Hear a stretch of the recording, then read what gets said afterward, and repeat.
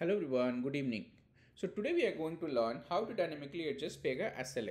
So in SLA we are going to learn how to adjust the SLA goal and uh, sorry SLA time and urgency. Okay. So in any of the projects, right, what happens is right that depending on the business situations and the business attribute, okay, sometimes we want to increase the priority of any case, right? Let's say let's take an example that if you are working on it like uh, if you're working on applications where you're doing some transactions of money okay so if the transactions amount is higher then you you may want that case should get resolved sooner okay or it should get approved sooner. So this is this is one example okay. Sometimes what happens is that uh, you create a case and and in the beginning only right the moment you create a case if you are using a case level sla so then you need to define the goal and deadline at this point of time only. But again if you want to readjust that right the the goal time and deadline. So let's say you created a case okay for transactions amount okay 500 and then initially you set the goal for two days and the deadline for four days okay.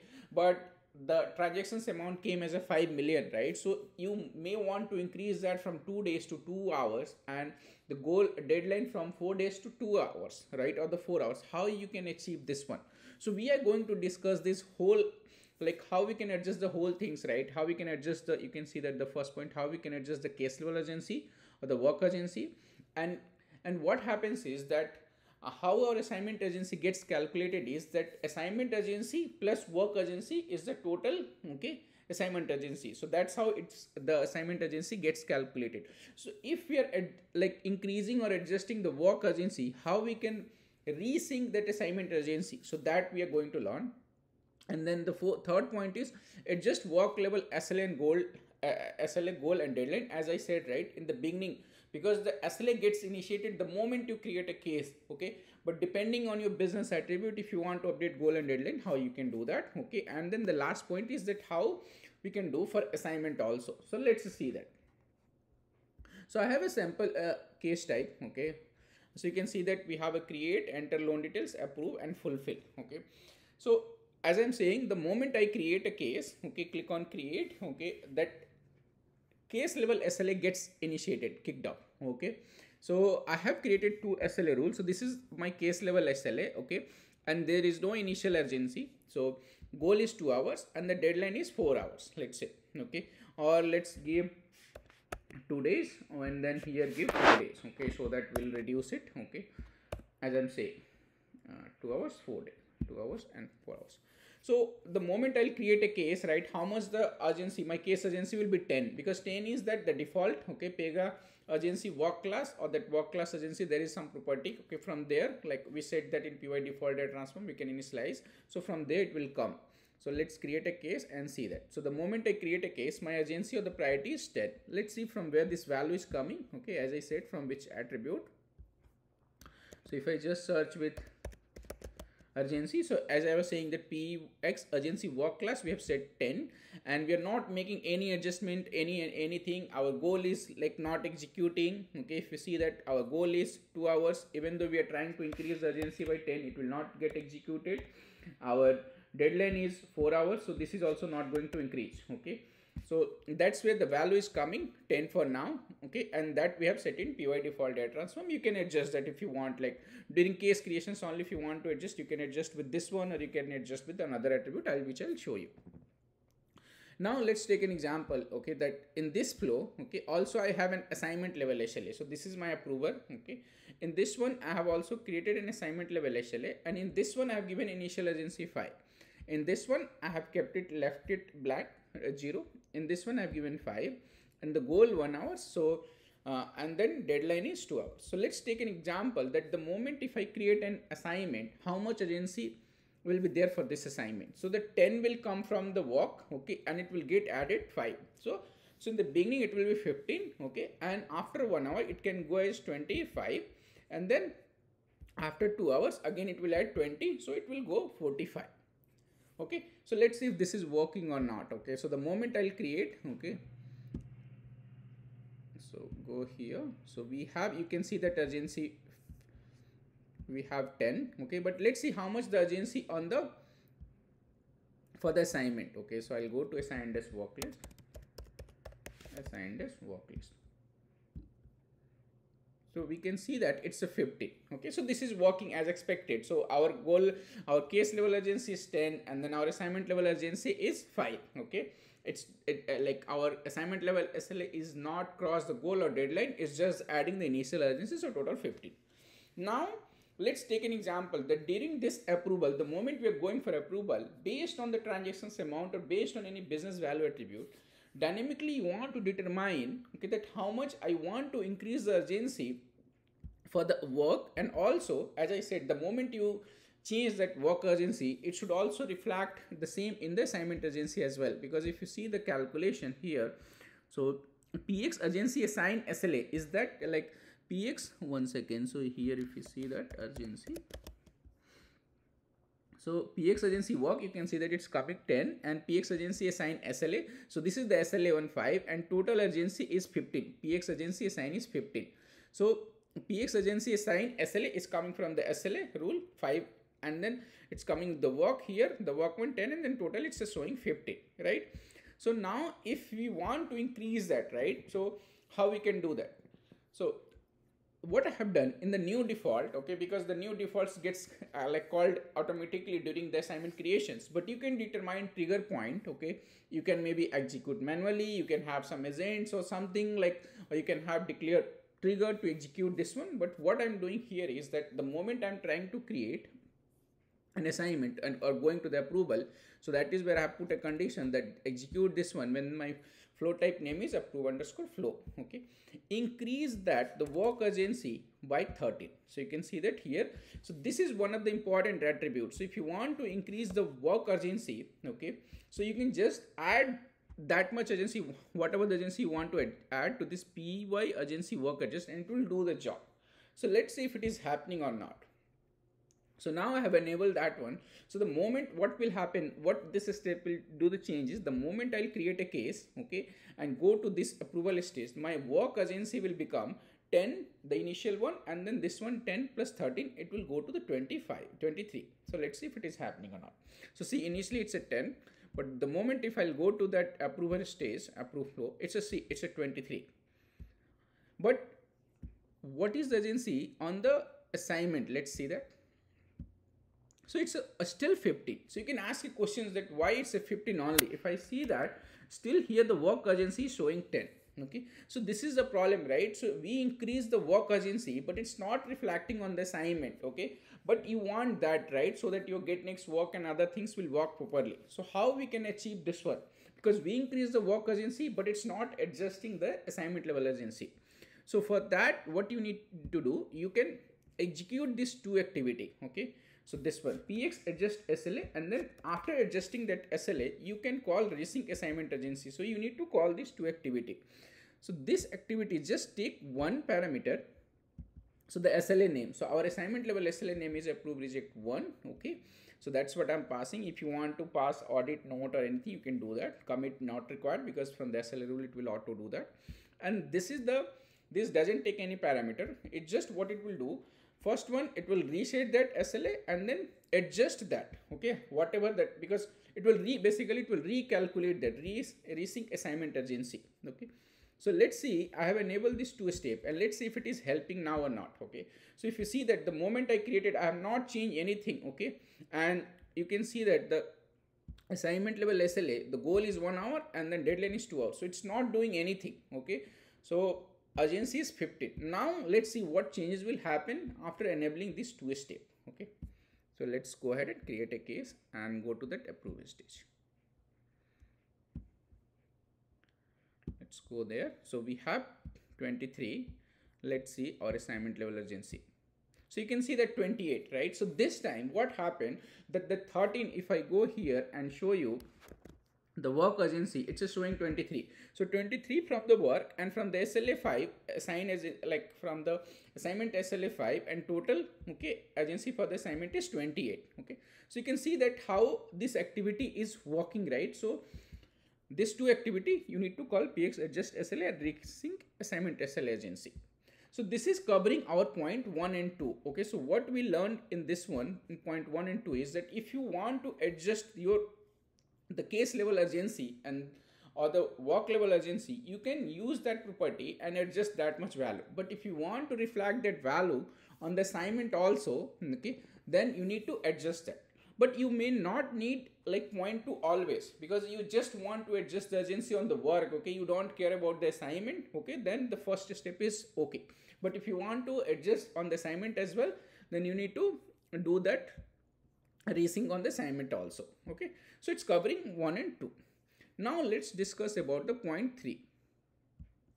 So point 3 is saying about that adjusting the work SLA goal and deadline. So as I said, the moment you create a case, okay, your SLA gets initiated and and it will set the date, goal, day, goal, deadline and everything, okay, during that time only. But that time you don't have the proper goal and deadline because you want to determine your goal and deadline, okay, depending on your business attribute, okay. So how you can do that? So if you want to adjust, okay, let's see that how we can do it in Pega. And again, this one here I'm setting hard, hard coded value 13, but this should come depending on your business attributes. So let's say you may create, you may consider to create a decision table and depending on that, you need to return this value and adjust it. But for now, I'm doing the 13. Okay. So now what we're trying to learn is that how we can adjust that, okay, the work level SLA goal and deadline. So here if you see that okay this is my SLA rule. So it's a two days and four days okay? So let's see that on the, on the previous case. What is the what's the goal and deadline on the work level?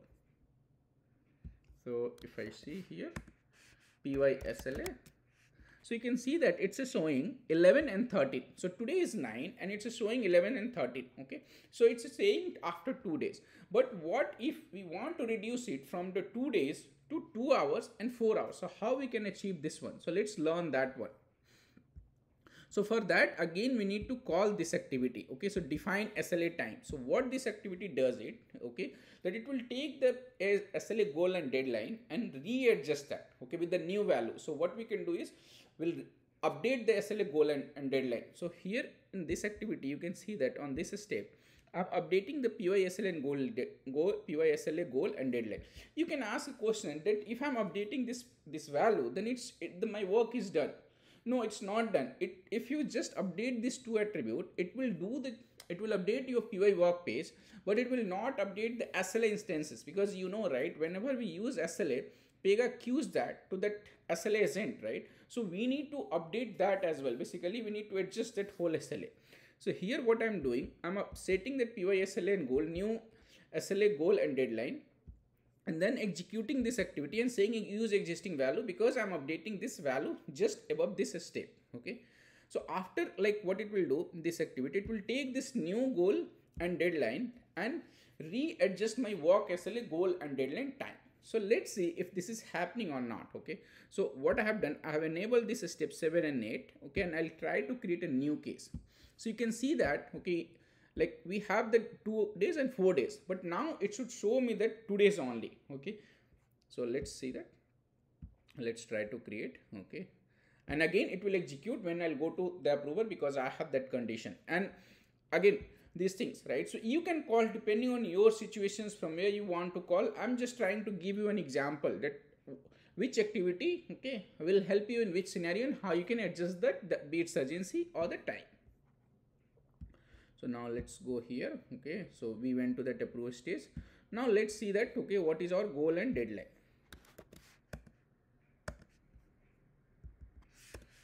PYSLA so you can see that it's showing for two days only see 0909 so you can see how we adjusted it let's try to create another case okay?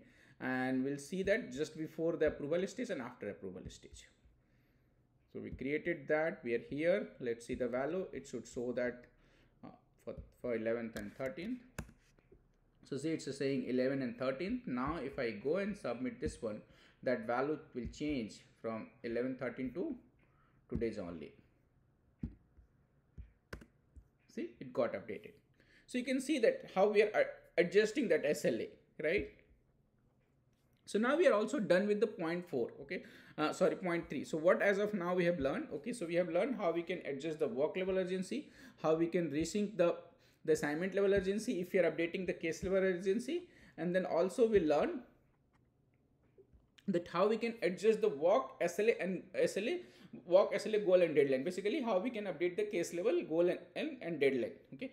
Now the last point is that same. Okay, what we did for that uh, walk level SLA. Okay, how how we can do for the assignment also. So let's see that. So for that also, I have identified that activity and add it in the same. Okay, so I'll just comment this one. Now this time will be enabling these two steps. Okay, so it just SLA times, okay, and this one, what parameter it takes. So this activity takes few parameter, okay. So it will take that so adjustment made mode, like what kind of adjustment you want to try. So here adjustment mode, so it should be fixed or interval. Like if you want to just ad adjust with the uh, like fixed or interval adjustment mode. So fixed means that you want to give a date and time or like you want to try with the interval like two hours, four hours. So depending on that, you need to fill that parameter. Okay. So here we need to give fixed and then param dot goal and so here I'm giving the goal date and a deadline time. Okay. And then what this with this three attribute, you need to call that. Okay and here it might not work because i'm trying to adjust it when i'm trying to create the assignment okay? So maybe during that time uh, my assignment is not there but you can do it. Let's say that your your uh, your assignment is already created and you are sitting okay? Your case is sitting idle and that time you want to update it from the as uh, like another agent or from somewhere you can call this activity adjust sla time and what parameter it takes i'm just trying to explain that here. It will take goal override and go deadline override date time okay? And the adjustment mode is fixed. So basically we are giving a new goal and deadline. But what if you want to change okay in terms of interval basically okay with my current goal okay you adjust four hours on the uh, four hours four days two days or like four hours okay two seconds something like that. So if i come to this activity so you need to pass assignment id and then uh, adjustment mode and then depending on the adjustment mode. So if it is fixed you need to pass these two okay? Uh, override date time goal and then deadline override date time. If you are using interval then you can pass this one okay? Goal adjust days goal adjust hours minutes okay? In that way and then same for that uh, audit note uh, like for sorry same for that deadline and then you have the audit and commit. Here also it's not required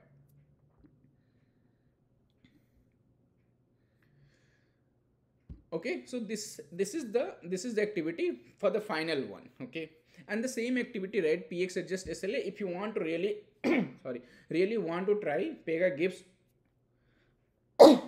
pega gives a local actions also for this one. So somewhere i think it gets executed through the local action. Okay so see P, py adjust SLA time. So you can, let's say if you want to really try, okay, but this will only work when you have, you when your assignment already exists, okay, and that is where I'm not showing because when I was trying, right, my, that time I was not able to get my assignment ID, okay, uh, that's where it, the issue was coming. But if I'll create an assignment, okay, and after that, right, uh, if I'll just like, uh, run a, this activity right as a one-time activity and pass the assignment ID, it will work, okay. So I think that's it for this session. Okay. Uh, let me know if you need any help. Okay. But before we go, I'll just quickly summarize that what all things we learn. Okay. So we learn how to adjust the case level urgency and that we learned that using an attribute, right? Uh, adjust like this attribute name. I'm forgetting that keep on forgetting that attribute name py urgency work adjust we can adjust the case level sla okay and if are if are if we are updating the case level SLA or like sorry uh, uh, adjusting the work uh, like case level urgency or the work level urgency you may need to consider in some situations if you have assignments that you want to resync that your or recalculate the assignment urgency. So that also we learn that um, after setting that attribute value right we need to call another two activities so that also you saw. And then uh, the third point we learn is that how we can adjust the, the goal and deadline for the case level SLA and the final one we learn we didn't see that okay but we learned that what activity and what parameter we can pass to adjust the assignment level goal and deadline. That's it. Please try and let me know if you need any help. Thank you. Thank you very much. Have a good day. Bye